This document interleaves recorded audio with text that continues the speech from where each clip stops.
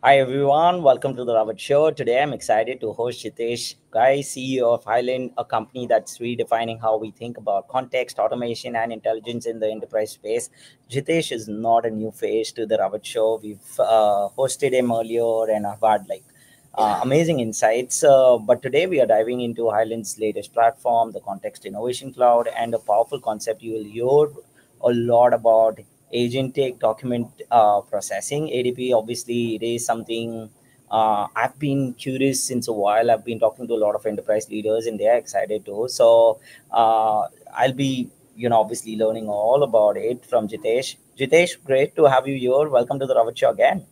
Ravit, great, uh, great being here. Great seeing you. Great connecting with you again, and uh, uh, thrilled to be here talking talking shop about all things unstructured data and how to innovate with uh, enterprise content, uh, what you know, what we call unstructured data or enterprise content. Fantastic, Jitesh. Uh, I'm just going to jump right in it, uh, and you know, I'm I have a curious question, which is about what's driving the need for content innovation right now. What do you think? Yeah, you know, if you look at the ECM industry, enterprise content management, uh, it's an industry exclusively dedicated to helping uh, enterprises globally manage their unstructured data, their, mm-hmm. their documents, images, etc., uh, ensuring that they're persisted, versioned, governed, compliant, uh, and uh, and used appropriately by the appropriate users in an organization. That's what ECM has historically been. Mm-hmm. Um, and equally, of course, as a persistent store for unstructured data, enterprise content, enabling searching and discovery, and some amount of process automation leveraging unstructured documents. I think what has radically changed over the last few years is the technology now exists to do so much more with unstructured data. We all had our chat GPT moment in Q4 of 22 right. when uh, you know large language models and what they can do was really apparent to all of us and it was at that moment when I realized, wow, you know what? Uh, the final frontier in enterprise data is un- unstructured data, is, is the enterprise content. And now we can unlock immense value from it. We can innovate with that content. We can empower organizations to innovate with that content and drive incredible value for their stakeholders, for their customers. That's what the Content Innovation Cloud is about. And it's really about AI enabling the content that we Hyland, are custodians of. We are we are the entrusted custodians of hundreds of petabytes of mission critical unstructured data. Mm. This is unstructured data for large enterprises globally, healthcare systems, insurers, banks, uh, state and local and federal governments their most mission critical data is persisted, housed, governed by Hyland. This is not data that Anthropic has. This is not data that Mistral has or Meta has or yep. pick or OpenAI. Pick your favorite large language model uh, developer. They do not have access to this data. Hyland does. And what we're really doing with the Content Innovation Cloud is enabling our customers, our 14,000 strong customers globally, wow. to AI enable their content. And in doing so, AI enable the workflows that are automating business processes with this content. That's the Content Innovation Cloud. That's what uh, we at Hyland are up to. I love it. Uh, one quick question that I have, uh, and these are fantastic insights, Jitesh. Uh, when you talk to obviously customers and uh, obviously you all work with larger enterprises out there, do you also see a lot of challenges that Content Innovation Cloud is solving for them in terms of specific use case that comes to your mind? I don't want you to name any uh, uh, customers, but then maybe anything that you kind of feel that okay, here are a few things that we've been solving, and customers are super excited about it. Yeah, yeah. You know, I think uh, what customers are super excited about is they know that they have this mission critical content. Right. Now they can Gen AI enable it. Now they can seamlessly not just search and discover the the loan documents or hmm. the, the bank statements or the, the, the mortgage documents or the insurance claims, they can also ask questions of the document and get answers from the data, the content within the document. Yeah. That's all possible because A, we have all the mission critical content. B, we're Gen AI enabling it with our large language models that mm. are fine tuned against enterprise content. And so now what we're enabled to do is historically all you were able to do was enable search and discovery through some rudimentary metadata tagging. Now, with large language models, we're able to give structure to documents. We're able to classify and Love tell it. you that this is a pur purchase order, but we're able to go a step further and give it structure and tell you this is a purchase order, this is the table, and these are the line items of the various products in the table. This is the discount, this is the average selling price. So because we can give you the structure, which is now enriched metadata of the document, we can also now give you the actual data. So not only just doing search and discovery, but now you can drive analytics from your unstructured data. You can ask it questions and get actual answers. Yeah, uh, these are uh, fantastic insights, and you know, getting those actual answers is something what I know enterprise leaders used to feel a little bit uh, less confident about uh, a few years back but now things are kind of moving in that direction and hyland is kind of making that possible too. I, I wanted to you know take this opportunity to also shift gears towards uh, something which i'm kind of intrigued about is idp to adp as well. And uh, what i mean is for our audience uh, you know adp is more around the agentic document uh, pro- processing. So I, I have a question around that. What is first of all agentic document processing and how is it different from traditional intelligent you know document processing which was idp uh, can you tell us a little more about that? Yeah yeah happy to. You know it's uh, what do our customers rely on hyland for? It's everything i described which is that yep. mission critical unstructured data that we're governing persisting and now we're gen ai enabling it. That's what we call content intelligence. Mm. but over the last couple of decades, what we've also done, which is very unique to Hyland, is we we are highly specialized for specific industries. So we have a very large presence in healthcare, in hmm. insurance, mm. in banking, uh, in in state and local and federal government, in higher education. So we have a very deep understanding of the business processes within these different industries.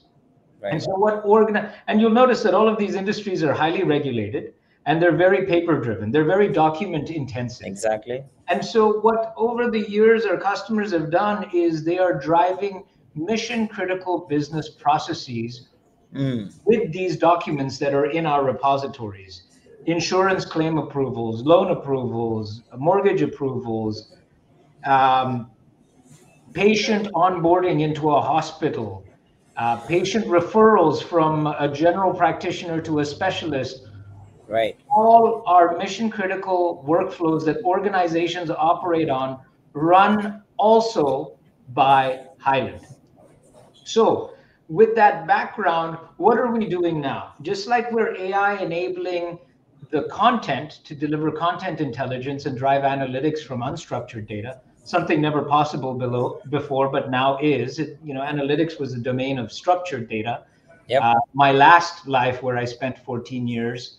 Uh, in addition to that, we're AI enabling processes, these workflows, these mission critical business processes, and delivering what we call mm. process intelligence. You combine the two, and now you can really deliver enterprise agentic outcomes. Everybody's mm. talking about AI agents, but they're really ta- uh, talking about AI agents that are performing rudimentary tasks. You know, sure. all the agents you hear about are task-based agents. They're scheduling your uh, hair appointment and putting it in, in, mm-hmm. in the calendar. You know, right. what we do because of our pedigree, our expertise in understanding mission critical business processes and running those workflows is AI enabling these mission critical business processes. So as these documents are coming in, it could be uh, a patient X from their primary care physician saying, "Hey, patient X has a um, a, a, a, a skin concern. Let's mm. get that patient in front of a, a, a specialist, a dermatologist. What agentic document processing is doing, where IDP stops, is IDP simply tells you this is the this this is the classification of the document and yep. this is the structure and extracts relevant metadata from the document and presents and, and stops there and persists that. What right. we do is we take that metadata, we understand the data, we mm. extract mm. the data, and then take action. So in this example, the action, which is uh, the action here would be to an agentic outcome of extracting the patient's name, extracting the physician's note, automatically routing it to the allergy department, integrating the the data within the allergy department EMR, ele- electronic medical re- record, health record system, and getting the appointment scheduled. This would have required several human interactions and handoffs within an existing healthcare provider. We are doing it through agentic document processing. Yeah. Similar use cases and patterns for document processing apply in insurance, in banking, you can imagine in higher education and yep. student onboarding. That's agentic document processing. That's how we're leapfrogging the state of the art in the industry, um, and, uh, and, and doing it with uh, with novel content intelligence, a knowledge graph on top of unstructured data, which is 80% of an enterprise's data estate. Nice. Everybody talks about knowledge graphs for structured data with data catalogs. Exactly. Life. Nobody's been able to crack the code on unstructured data that's exactly what we're doing to deliver the signal and from it the agentic automation outcome as well i love it uh, these are fantastic insights i love the use case about you know the healthcare and i kind of feel you know because i talk to various industry enterprise leaders and sometimes i was talking to one of the cdo from a very big healthcare just two days back as mentioned off air as well and the challenge for them is they want 99 at least 99.99% accuracy when it comes to regulated industries as healthcare. And mm-hmm. if you are catering to those sort of industries, it kind of also becomes a very interesting use case that that's the level of accuracy you all want to you know go around because if you're getting into a report if you are you know obviously extracting the data from a written report it it has to be that authentic that perfect so that's that that was a good example that you shared. Uh, i'm kind of uh, also curious you mentioned about uh, two things content intelligence uh, lake and knowledge graph. These are two very interesting topics always for like knowledge graph i've been hearing so much. And you're right it's on structured data you've been kind of working around it and it's a little easier but doing it on unstructured uh, data is something i'm kind of curious about. But what roles do they play in enabling autonomous decisions and actions. What are your thoughts there, Jitesh? Yeah, yeah, I think I think the key there, which is you know, as I mentioned, because we have large language models, because GPU price performance uh, is where right. it is, and so accessible, uh, we are now able to do operations on unstructured data that were mm. never possible before. Yeah, you know, we we spoke about you know knowledge graphs for the purposes of cataloging structured relational data uh, sources like ECMs, uh, sorry, uh, ERPs, ACMs, uh, CRMs, etc. Uh, but as I mentioned, 80% of an enterprise's data, 80 to 85% is unstructured data. And that wasn't possible before. And so, really, we're bringing this concept of cataloging to unstructured data because right. we can derive enriched metadata from documents, because we can derive the underlying data from those documents as well, and because we can AI, apply AI to it, we can now start right. building relationships from one document to other documents that wasn't possible before. Hmm. So we can relate the relationships between supplier contracts and the procurement of products from those suppliers to customer contracts that are consuming the specific products from specific suppliers. Now yeah. you've created relationships out of, you know, terabytes of documents that were previously unrelated, mm. and and you've given through this knowledge graph, you've given content intelligent insight, that signal, from which now you can drive agentic action.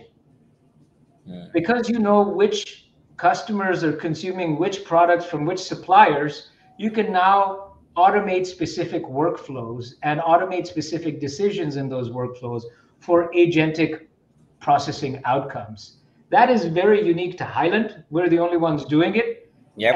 And, uh, and that's because we've spent the last couple of decades perfecting our intellectual property around unstructured data, and we're accelerating that innovation uh, with multiple new services coming online this year. We've already got uh, four new services uh, uh that have come nice. on this year and uh, many more cloud AI services coming in the second half. Yeah, can't wait. I'm super excited. I'll be obviously, uh, I'm planning to also do the community live event that you'll have in August. I'll be attending that in person, obviously wanting to see all the innovations come to life uh, and the newer announcements as well. So I'll be capturing that. But uh, these are fantastic insights. It exactly goes back to where you mentioned that your philosophy is still with data and you want to make sure that change happens and uh, this kind of connects the dot pretty well so jitesh thanks for that uh, but you know amazing uh, insights that you've shared today. Great conversation. I can't wait for all the announcements that are coming up uh, in the near future as well. We'll keep a close tap on it. Uh, it was such an insightful conversation and i think it kind of also gives our audience a fresh lens on where content and automation are all headed. Uh, but before we close, um, uh, where can people go learn more about the content innovation cloud and the work you, uh, you like your work with uh, agentic documentation processing? Yeah, well, so first, hyland.com is uh, the, the most immediate place to go to learn more. Uh, right. Certainly follow me and my leadership team on LinkedIn. Uh, we, nice. uh, we are actively sharing our perspective with uh, with immense passion on where the industry needs to go in, in the context of data and why we are redefining content management, document processing uh, with AI. Um, and equally, and if not more so, you mentioned it, our annual user conference is in Vegas in late August. It's called right. Community Live. It's where thousands of the brightest minds in uh, in content management and unstructured data and process and, and AI come together. And uh, we're going to have some incredible announcements in just uh, a few months. So I'd encourage you'll be there. I'd encourage everybody listening yeah. and watching uh, to join us in Vegas uh, at uh, Community Live late August. Can't wait, Jitesh. Uh, such a pleasure, and thanks for all the details. We'll make sure that our audience also kind of gets, uh, uh, you know, these links, and obviously follow Jitesh. He's active on LinkedIn. He kind of does all the you know product announcements as well. He kind of keeps us updated. So thanks, Jitesh, for taking the time out. But uh, definitely looking forward to meeting you in person uh, late August for the community live event. Ravit, it's always uh, it's always fun talking shop with you. Great connecting again, and looking forward to seeing you at Community Live. For sure. Thank you very much. Thanks, Jitesh. Thanks everyone for joining us today. Thank you.